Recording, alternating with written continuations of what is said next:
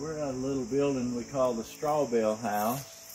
And there's a lot of interesting history to this. But first of all, you should know that it's built out of big bales of straw. That's why we call it the straw bale house. So the insulation is about that thick in here. You can't have much more insulated house. It's made with oat straw. My friend Jimmy Freeze grew those oats. He wanted to feed his Belgian mare, so he saved the oat seed to feed the mare, and we just uh, harvested and baled up the straw and uh, built a wooden frame to support the rafters.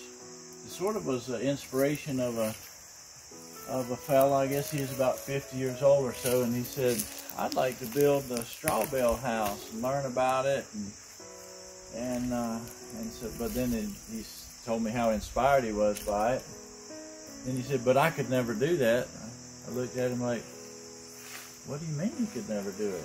He said, well, I don't know how to do it. Like, don't let that stop you. And he says, well, I don't have anywhere to build it. We were down here at the kitchen. I said, right up there on that hill. And I'll teach you. So then he didn't have an excuse to not build his his dream, you know. I wanted to be dry because cob, I knew I was going to cover it with cob. So obviously this is not straw. Uh, this is uh, solid cob is a, an earthen mixture. We dug it up just uh, about 200 feet behind the building. So we hit a little clay bank. This doesn't really have to be good clay, but you mix two-thirds sand and one-third clay or sticky soil. One of my favorite sayings came out of building this kind of material. Build with dirt save the earth. And that's actually one thing we like to teach about is just using local, organic, healthy materials the opposite of modern American practices. But over time, we, we built this up, and all the lumber is uh, locally harvested on this land. It never saw a hard top road. It never got zapped with trees myself, sawed it in the sawmill myself.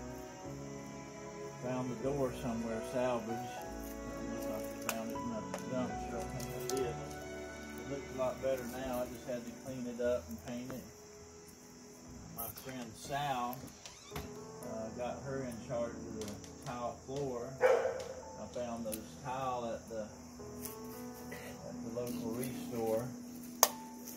But uh, put a skylight in it because I like a lot of natural light.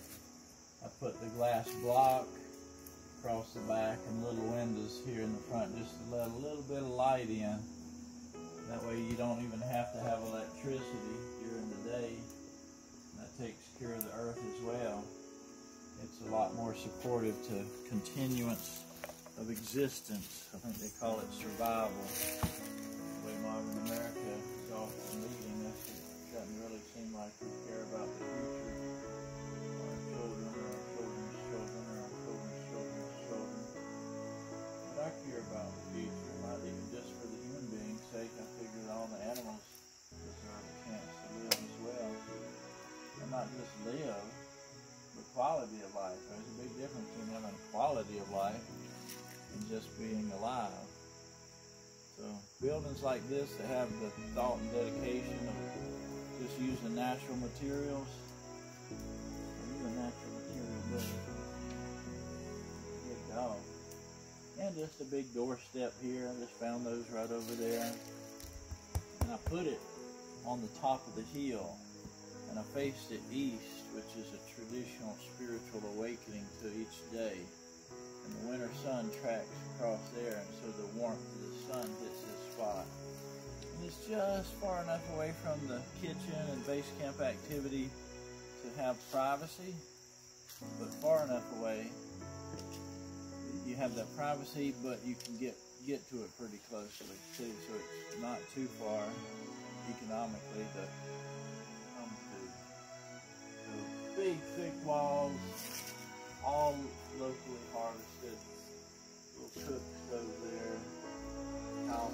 for us easy to clean. So that is the extreme, extreme, extreme, extreme short story about the straw bale house. Hope you guys enjoy it. Take care of it.